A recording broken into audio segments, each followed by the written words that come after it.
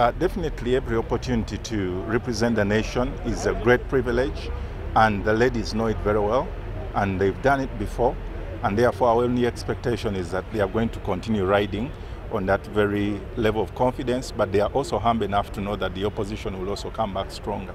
Therefore, yes, they are looking to give their best performance. This means that we have to work hard, not to sleep, as as we have been doing. We've been training, training hard. We had trial games, so it means a lot, and we are ready. They should expect a challenge, a very huge one. Compared with last year, they crushed us at semi-finals. we are not here to joke. Uh, with the new experience we have in the team, so they expect a tough game.